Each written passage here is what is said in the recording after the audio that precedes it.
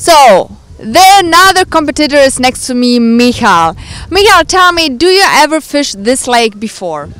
Já jsem tady chytal už hodněkrát, eh, vlastně ještě než jsem eh, otvíral, jako zahajoval svoji firmu, tak jsme tady byli testovat první věci, které jsme kdy eh, jako produkovali pod mojí značkou a chytli jsme tady krásný kapry.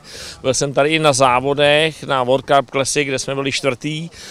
Byl jsem tady i jednou na závodech Stars to Hell, kde jsme vylosovali velmi špatný místo, kde jsme se trápili, tak já doufám, že to letos bude lepší.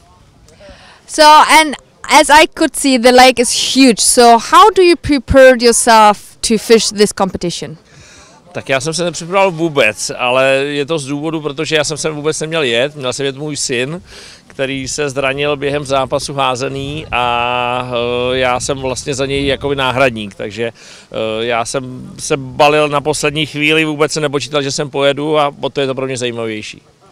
That sounds amazing. And the last question I have is um, how do you like the atmosphere around uh, Stairs to Hell to be here with uh, 100, 200 other guys?